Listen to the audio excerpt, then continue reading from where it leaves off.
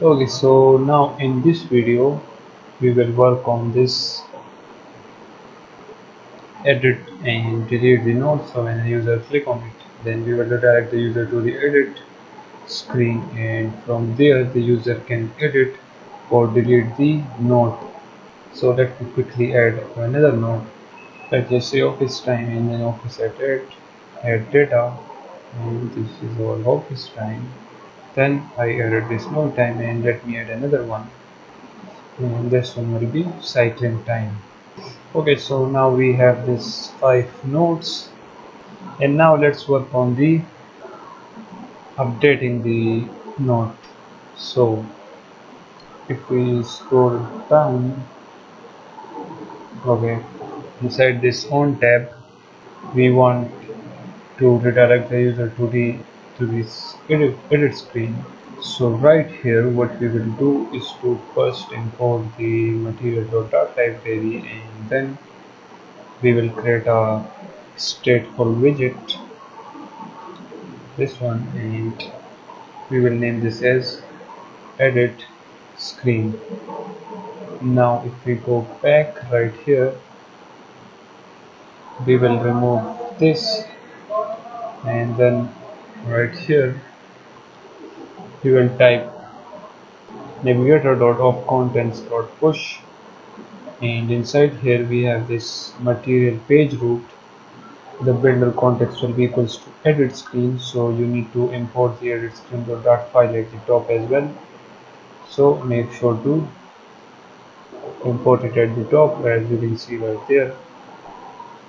And then we have this current title current description and the document id or the doc id so now get back to the edit titles dot file and right here we will create the variables for the current title current description and the document id so right here we will say final string current title current description then document id and we will remove this from here. And right here we will type yep we will type edit screen. And in here we will type require this dot current title require this dot current description and then this dot document id so now we have this Uh, title and this description and the document ID with us. So we pass that to the edit screen now as you can see right here. We passed it from here to this edit screen. And now we will show this data inside the text field for editing the note so let me first create space right here and after this right here I will say final focus node then underscore title focus node is equals to focus node. And then we will do the same for the underscore description focus node. And then after this we will create a bool variable by the name of is. Deleting and by default this will be equals to false. Then in here right here we will return a gesture detector and inside this gesture detector what we will do is to say on tap.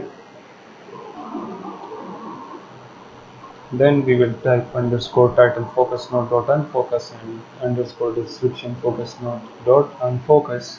And after this on tap we will say child then scaffold and inside the scaffold the background color will be colors dot.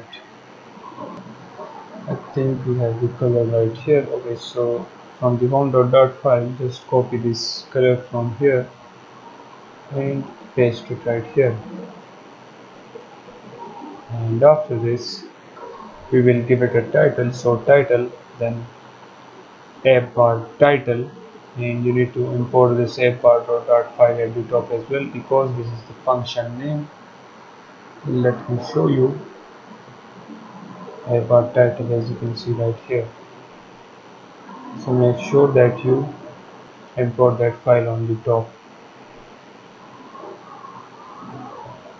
Okay but we need to add this title inside a bar okay so right here we will type app bar then app bar I guess we did that on the home page as well so we can just simply copy this from here.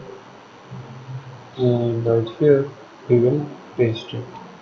So elevation will be 0 the background color will be this the title will be app bar title then the section name will be crud and after this right here we will say actions and inside this actions we will say if the underscore is deleting then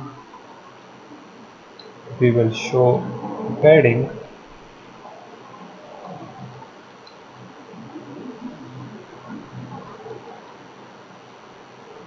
So I remove this. So right here we will say padding then const edge insets dot only from the top it will be 10.0 from the bottom it will be the same 10.0 from the right it will be 16.0 and after this we will create a child. And inside this child we will show the circular progress bar so if the is deleting is equals to true then we will show the user the progress bar. So if the user click on the delete button then the is deleting will be set to true and then we will show the circular progress indicator. So inside this child we will say circular progress indicator and the value color will be always stopped animation color the color will be red accent and the stroke width will be 3 and in the else block what we will do we will show the icon button so if the user didn't press the delete button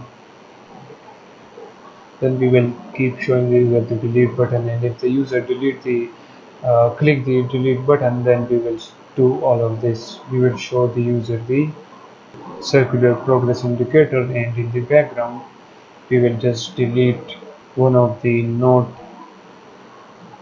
which the user wants to delete. Okay so on the on pressed what we will do we will say async and in here we will set a state and in here we will set the is deleting to true. Then for the icon what we will do we will say icon and we will show the icon which is icons dot delete forever. Let's just do this. And after this the color will be colors dot red accent and the size will be 32 and right here after we set the state then right here we will say await then database dot delete item and we need to import this database dot dart package at the top. Okay just create that and right here we will say doc id will be widget dot document id make sure to import this library at the top. As you can see right here this is our database.dart file. Let me show you and we are using this function which is delete item. Right here as you can see delete item. Okay so after this we will set a state and in here. We will say is deleting will be equals to false and we will re refresh the page. So for that we will type navigator dot of context dot pop and that's it. Let's just refresh our application and see how it looks. Okay now if we enter our id and now if we click on the cycling time now as you can see this is our app bar this is the delete button. And let's just delete this movie time. So if you click on it here is the progress bar and as you can see the movie time is now deleted. And if we refresh our database and if we check the items now as you can see we only have four document IDs and as you can see the movie note is now gone. So what this means that our deleting function is now working and as you can see and if you see database as you can see the other document id is gone and now we have only three.